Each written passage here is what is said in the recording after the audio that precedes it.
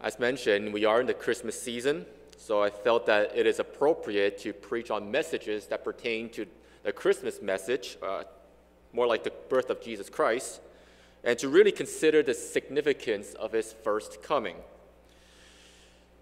Your teacher in school may have told you that there is no such thing as a dumb question. And then, as I thought about that phrase, I decided to Google this question Who invented the phrase, there is no such thing as a dumb question? Google result gave me Carl Sagan, uh, who was an astronomer in the 20th, 20th century. And the point of this phrase is to uh, encourage you not to be afraid to ask questions and to be on the quest of understanding the world around you. And it's better to ask questions than to pretend that you already know the answers. During this Christmas season at OBC, uh, it is an opportunity for us to reflect on this question why was Jesus born? Why was Jesus born? And how would you answer this question? You see, this question aims to answer the purpose of his birth. It is a simple question, and the answer can be so simple that a young child can understand it. And the answer can be so profound that it sinks theologians into the ocean of spiritual water. And so for me, I aim to strike the answer at the middle of the spectrum. See, this message is not just merely intellectual, but that it is personal and it is actually very practical. Perhaps this will be a refresher for some of you. Uh, perhaps this would be a reminder of what Christmas is all about because let's face it, it is so easy for this season to just come and go and just take this holiday season for granted. And perhaps God will use this message to bring about salvation to you if you're not in Christ. And so today, uh, it's not going to be our typical exposition of God's word, it's more of a topical uh, message. I'm going to be drawing a lot of passages from the Bible, particularly the Gospel of John. And so I decided to answer this question by focusing on the writings of the Apostle John, the Gospel of John, and also First John. And so some of you may be aware that John doesn't explicitly and directly talk about the Christmas story that we're so used to. You have Joseph and Mary traveling to Bethlehem, and then you have the Magi and the wise men going to Bethlehem, and the, stars, and the star pointed them to Jesus Christ. You have the story of where the angels spoke to the shepherds. And then you have, of course, the nativity scene where Jesus Christ was born and he was lying in a manger. Indeed, those stories aren't in the Gospel of John. Matthew and Luke are more explicit about the birth of Jesus. So, why did I choose John to, to talk about and answer this question? See, the reason why I chose John is because he describes Jesus as the sent one. The sent one. And so, throughout the Gospel of John, the author constantly tells us and reminds us of the Christmas story. When we consider the birth of Jesus on Christmas, we should remember that he wasn't just merely born 2,000 years ago, but he was sent. He came into the world as the sent one almost about 20 times in the Gospel of John and three times in 1 John, John refers to Jesus as being sent.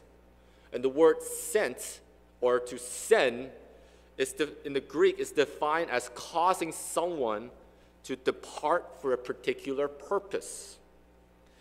And the Greek word is pronounced as apostello. Apostello. And if you listen to this word carefully, then you should remember that this word sounds very close to the word apostles.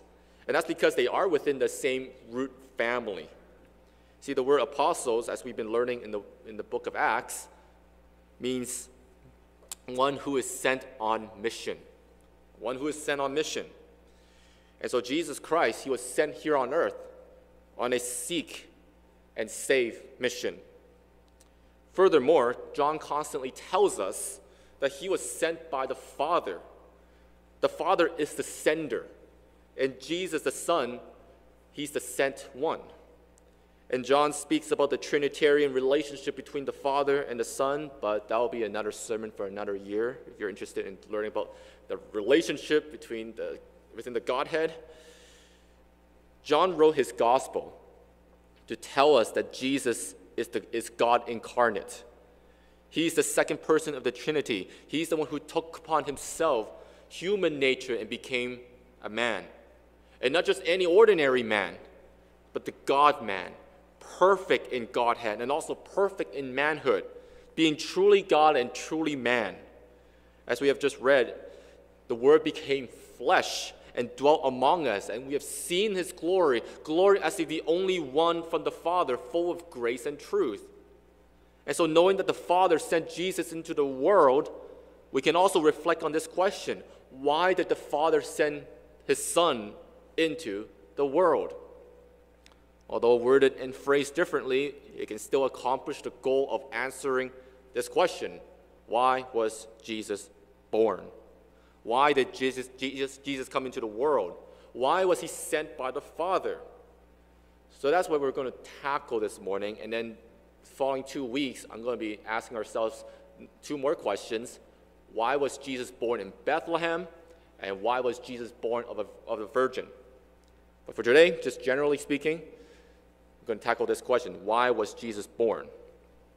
And based on John's writing, there are perhaps at least six reasons why Jesus was born.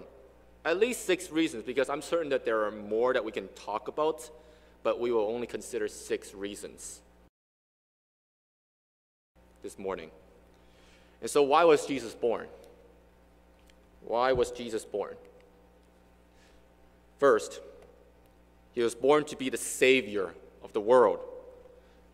John 3 16 to 7, John chapter 3, verses 16 to 17 says, For God so loved the world that he gave his only Son, that whoever believes in him shall not perish, but have eternal life. For God did not send his Son into the world to condemn the world, but in order that the world might be saved through him. And 1 John chapter 4, verse 14, and we have seen and testified that the Father has sent his Son to be the Savior of the world. Very simple to be the Savior of the world. God sent His Son into the world to save sinners. He came to seek and to save the lost. And for Jesus to be the Savior of the world implies that we need to be saved from a danger that will fall upon sinners, which is eternal condemnation. And it also implies that we are not our own Savior. We cannot save ourselves. We cannot earn our way to heaven. We cannot attain perfect righteousness. Uh, we cannot be reconciled to our Heavenly Father by ourselves. Not by merit, not by being religious only on Easter and Christmas, not by giving nice Christmas presents to someone, not by helping the poor, and not by just doing merits. None of those things, none of those things because we are not our own Savior we cannot save ourselves. That title belongs to Christ alone. Jesus is the Savior because that's precisely what his name means. Jesus, because his name, Jesus, is derived from Hebrew and Aramaic, which is called Yeshua. Yeshua, and it means Yahweh or the Lord saves or Yahweh is salvation. And if you don't know, Yahweh is God's personal name who revealed himself to Moses at the burning bush I am who I am. Furthermore, Yeshua is the same spelling for Joshua in Hebrew. And when translating from Hebrew to Greek, Joshua becomes yet Jesus. And so in English, Jesus in the Greek is spelled as Jesus. Joshua and Jesus mean Yahweh is salvation. The Lord is salvation. Jesus is the all sufficient Savior. He came to save, He came to rescue, and to deliver. He is the grace of God who appeared, bringing salvation for all people. Peter preached to the Jewish leaders back in Acts chapter 4, verse 12, that there is, no, there is salvation in no one else, for there is no other name under heaven given among men by which we must be saved. So, in other words, salvation is in the name of Jesus alone. Jesus is the only Savior of the world. No one else was born of the Virgin. No one else lived a sinless life. No one else died bearing our sins. No one else was raised from the dead to conquer Satan's sin and death. No one else is seated at the right hand of God. Jesus is the only Savior and no one else. And, and for you personally, in order for you to understand the role of Jesus as Savior, in order for you to receive Him and believe unto Him for salvation, you must understand your own fallen and desperate condition. See, some think that Jesus came to save them and rescue them from bad marriage or from depression, from bad grades in school, from poverty and bankruptcy. And I hate to break it to you, but those are not what Jesus came to save you from. Those may be the byproduct, byproduct of what, tru- of what Jesus truly came to save them from. See, what Jesus came to save you from is from your sins, from yourself, from eternal condemnation. That's what Jesus came to do. He came into the world to save sinners and to transform them into a new creation. So, why was Jesus born? He was born to be the Savior of the world. That's the first reason. Second reason of why Jesus was born is that he came to be the propitiation for our sins. The propitiation for our sins. 1 John chapter 4 verse 10 says, "In this is love, not that we have loved God, but that he loved us and sent his son to be the propitiation for our sins." Now in your other Bible translations, it may say atoning sacrifice, but propitiation is more accurate translation. It is a biblical and theological term. So it's, good, it's a good word to have in your Bible. You can perhaps write that word down on your Bible. But what is propitiation? See, in order to understand propitiation, you must also understand your relationship with God before you became a Christian. You see, if you're not in Christ, then you are in enmity with God because of your sins. John 3, verse 36 says that whoever does not obey the Son shall not see life, but the wrath of God remains on him. You see, what sin does is that it arouses the wrath and displeasure of God. It provokes him to anger for a righteous reason, not for arbitrary reasons. You see, since God is holy and the righteous judge, he must judge and punish sin and unrighteousness. Before he became a born again Christian, Martin Luther Martin Luther, the Protestant reformer, was terrified and fearful of the wrath of God. And this is a disposition that is so far removed from modern churches and Christians. See, someone asked, once asked Luther, Brother Martin, do you love God? You know what Luther said? Luther said, Love God? You ask me if I love God? Sometimes I hate God. That's the language he used.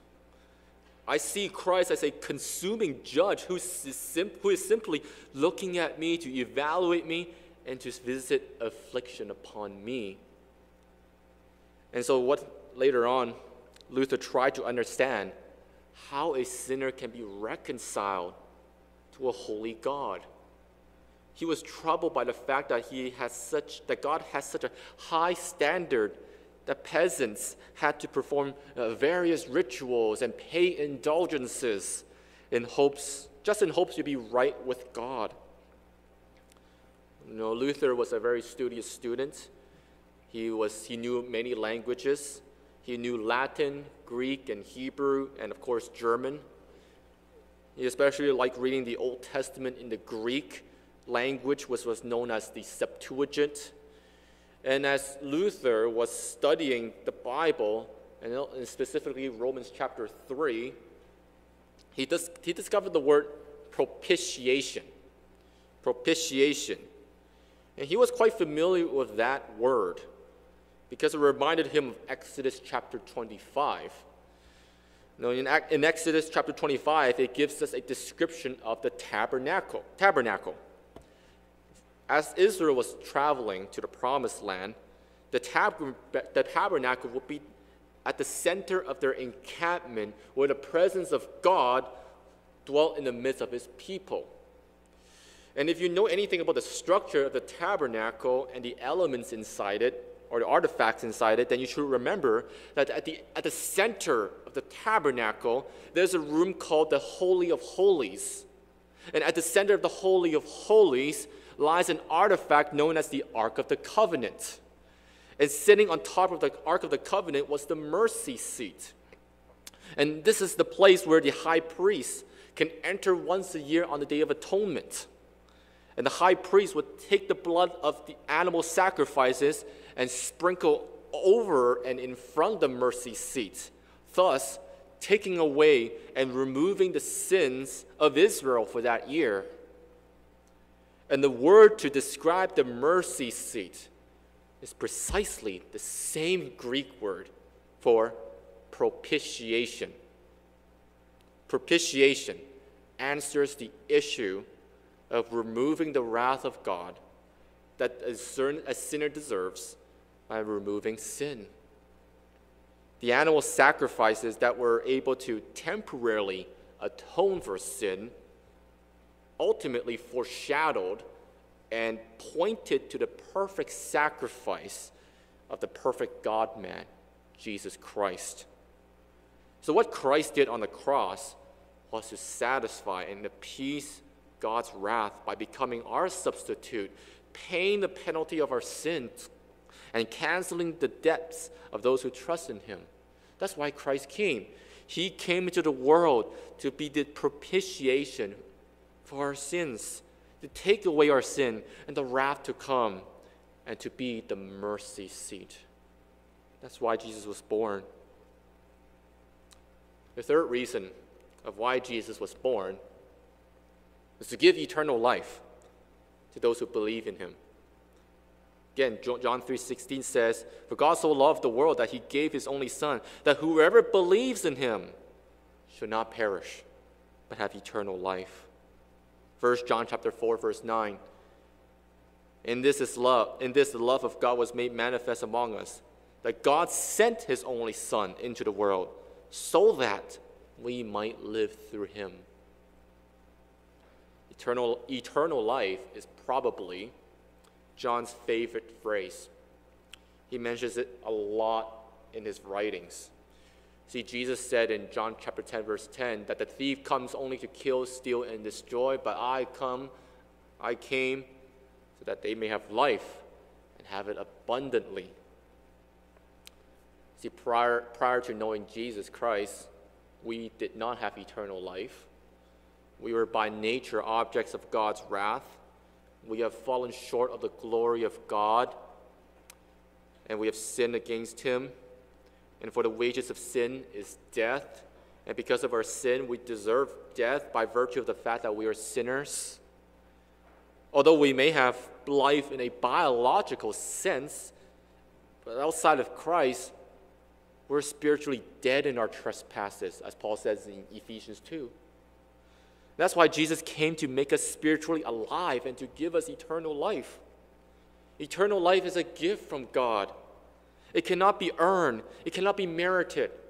Paul says in Romans 6:23 that eternal life is a gift of God found in Christ Jesus. And God and John complements Paul's teaching when he says it says this in 1 John chapter 5 verses 11 to 12. And this is a testimony that God gave us eternal life. And this life is in His Son. Whoever has the Son has life. Whoever does not have the Son of God does not have life. Eternal life is reserved for only for those who have repented of their sins and trusted Jesus Christ as Lord and Savior. So let me ask you a question Do you have eternal life? If not, then the bad news is that not only will you experience the first death like everyone else, but you will experience the second death, which is eternal hell. However, the good news during this Christmas season, good news is that Jesus came into the world. And especially right now, during this season, especially when gifts come into people's thoughts and minds, the greatest gift, free gift freely offered to you, a gift that you cannot pay, you cannot purchase with money. The greatest gift that you can ever receive is Jesus Christ because eternal life is in him. That's why Jesus was born. He came to give eternal life to those who believe unto him for salvation. Fourth reason of why Jesus was born, he came to accomplish the will of the Father. He came to accomplish the will of the Father. John 4 34 says, Jesus said to them, My food is to do the will of him who sent me and to accomplish his work. John 5 36, but the testimony that I have that I have is greater than that of John, for the works that the Father has given me to accomplish, the very works that I am doing, bear witness about me the Father has sent me. John 6 38, for I have come down from heaven not to do my own will, but the will of him who sent me. On the night before he was betrayed, our Lord Jesus, along with his disciples, he was at the place called the Garden of Gethsemane. And at that location, we recall in the Gospel that Jesus spent some time praying before he was arrested and tried before the Jewish council. And knowing the horror of what he would endure on the cross, Jesus prayed to his Father, Father, if you are willing, remove this cup from me. Nevertheless, not my will, but yours be done. And Jesus, he humbly and obediently and voluntarily chose to do the will of the Father while he was on earth.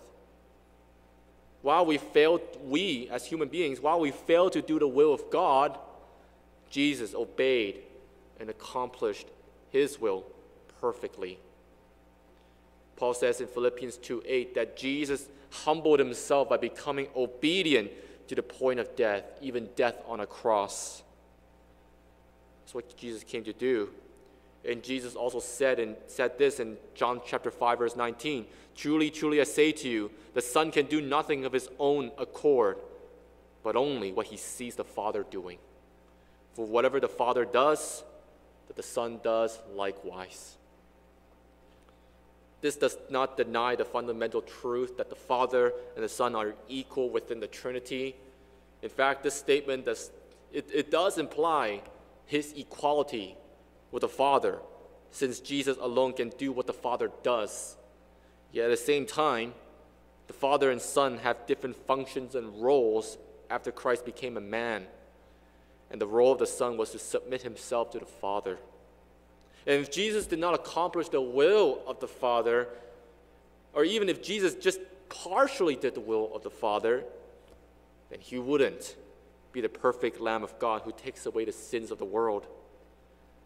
Because theologically, there would not be a perfect alignment within the Godhead. See, over and over again in the Gospel of John, Jesus makes it clear that everything he did and said were in perfect alignment with God's will. John chapter 12, verses 49 to 50 says, Jesus says this, For I have not spoken on my own, my own authority, but the Father who sent me has, given, has himself given me a commandment, what to say and what to speak.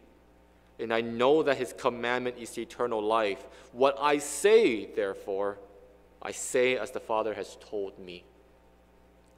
So, why was Jesus born? He came to the, do the will of the Father, and that includes going to the cross. and dying for our sins and calling everyone, you, to repent of your sins and to believe in the gospel. And by doing the will of the Father, Christ came in, into the world to reveal the Father to us, and that's the fifth reason. Why was Jesus born? To make the Father known. John chapter 17, verses 24 to 26 says, Father, I desire that they also, whom you have given me, may be with me where I am, to see my glory that you have given me, because you loved me before the foundation of the world. O righteous Father, even though the world does not know you, I know you, and these know that you have sent me. I made known to them your name, and I will continue to make it known, that the love with which you have loved me may be in them, and I in them. See, in this context of the high priestly prayer, Jesus tells us that he and the Father have known each other before the world was created. Both of them had an intimate and eternal relationship with each other. They both had have perfect love for each other. Therefore, Jesus knew the Father perfectly.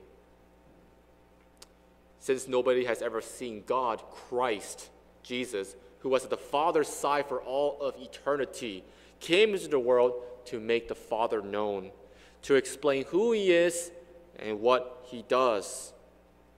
And so the disciples of Jesus, having spent three years with Jesus, came to know the Father by knowing Jesus Christ. So that's why Jesus was born. The Father sent his Son to make himself known. And if you ever doubt the existence of God, then I encourage you to look to Jesus. He is God in the flesh. You can come to know Jesus, and by knowing Jesus, you can also have a relationship and communion with the Father. Last reason, reason number six. Why was Jesus born? He came to manifest the love of God. John 3:16 again, for God so loved the world. 1 John chapter 4 verse 9. In this the love of God was made manifest among us. That God sent his only son into the world.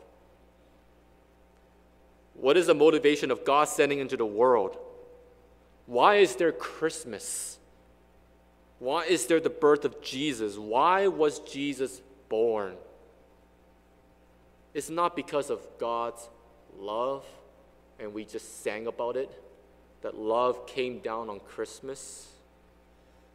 God's motive in sending Jesus Christ into the world was his love for the world. But how do you, how does one measure this kind of love?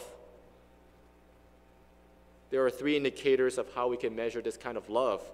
Indicator number one is the identity of the lover. The greater the lover, the greater the love. Indicator number two is the object of that love. The lesser the object, the greater the love. Indicator number three is the expression of that love. The greater the expression, the more marvelous the love. Some have a superficial and shallow understanding of God's love. He loved the world not because there's anything lovely about the world, not because there's anything likable about the world, not because there's anything special and unique about the world. God loves in spite of the filthy, wretched, sin wrenched world. It is like trying to love your enemy, is hard most of the time. It's like trying to love and forgive the person who did something egregious and atro- atrocious to you and maybe even your family members and does not deserve love, compassion, and mercy and forgiveness. We have sinned against God. We have broken His law. We have committed a, as R.C. Sproul once said, a cosmic as cosmic treason and utter rebellion against God. We have not loved God. We're sinners. We're sinners. And if you understand this reality, then that should amaze and should even humble you. Because you need to realize that you are utterly unworthy of being loved by God. And yet, as Paul says in Romans chapter 5, verse 8, that God demonstrated his love for us, and that while we were still sinners, Christ died for us. This is this love is God's agape love. It is his self-sacrificial love. It is his covenant, faithful, and loyal love for his chosen people. He is by nature love. For he is the great lover. And the object of God's love for sinners to take our breaths away. We are the lesser object of God's great and marvelous love. But why? Why would God condescend to become human to save wretched sinners like us? Why would God choose to show his love by sending his Son into the world? I think it is meant to show us how glorious, how glorious God is. God's love in sending his Son is the most glorious expression of his plan of redemption in saving sinners. There is really no way to exhaust the exposition of God's great love. There is no way for any of God's people to fully comprehend the love of God because the love of Christ surpasses all understanding. And in response, perhaps some of you, even having hearing this, some of you may be apathetic, maybe unmoved may be all too familiar of the Christmas story, but remain unchanged. If the love of God doesn't even move and change you, then you need to ask yourself Do I truly know and believe the love of God revealed to us in the cross of Christ? Brothers and sisters, listen to the words of the 17th century English Puritan John Owen. He said this, and I quote The greatest sorrow and burden you can lay on the Father, the greatest unkindness that you could do to him, is not believe that he loves you. End quote. And if you truly know and see the love of God in the most personal way, then you can also hear the comforting and encouraging words from John Owen. But he also said this, and I quote So much as we see the love of God, so much shall we delight in him and no more. End quote. The purpose of Jesus' birth is multifaceted. He came to be, he came to be the Savior of the world, to be the propitiation for, of our sins, to give eternal life to those who believe in him, to accomplish the will of the Father, to make the Father known, and to manifest the love of God. But all these facets are meant to point to the ultimate purpose of Jesus' birth to suffer and to die on the cross. That's why Jesus came. Jesus was sent with a mission and the ministry on earth to save sinners by dying on the cross for our sins. And this idea is not merely intellectual, it is supposed to be practical and personal. And so, as you consider and reflect why Jesus was born, it should be personal to you because Christ came into the world to save sinners like you and it should be personal as you see and just savor Jesus Christ for all that he has done for you. Think about it. Jesus came to the world to save me, when there's nothing lovable, where there's nothing savable about me, there's nothing in me that is, deserves saving and love, it should humble you to worship God more deeply and to see His glory even more. And so let's consider the first application I would suggest for you to consider in response to this message. You can love Him. You can, you can love God and delight in God because He first loved you. That's why Christ came. And if you love Jesus, then in response, you will keep His commandments. That is the proof of your response to His love. But whoever does not love Christ does not keep His words. The evidence that you love Jesus is that you keep His commandments. And if you don't love Christ, then you don't love His Word. And if you don't love His Word and keep His Word, then you don't truly love Christ. And you may be found unfaithful in the last days, and you may be found to hear these words of Jesus I never knew you. Depart from me, you workers of lawlessness. That should be our response we love because he first loved us. In the second application, can be found in John chapter 20, verse 21, where Jesus says, Peace be with you. As the Father has sent me, even so I am sending you. Christmas is God's seek and save mission God the Father was the sender, Jesus was the sent one. And now, in this context of John chapter 20, verse 21, having accomplished all that the Father wants Christ to do, Jesus now becomes the sender by commissioning his disciples to be his witnesses, to be his messengers and representatives of the Great Commission. And this has been the topic of discussion that we, as we've been going through the book of Acts. And so, in response, we are the sent ones now. We have the responsibility to be ambassadors for Christ who have been entrusted to us with the message of reconciliation. And so, during this Christmas, it is a good opportunity to talk to someone about the birth of Jesus Christ and the gospel message. And not only that, it's also a good opportunity to invite people to church and to hear the gospel message. And so, I hope that you now have a good idea of why Jesus was born. And this question is not a dumb question. It's not a dumb question to ask. But I, I also hope that the answers that were given were not dumb as well. Let's pray.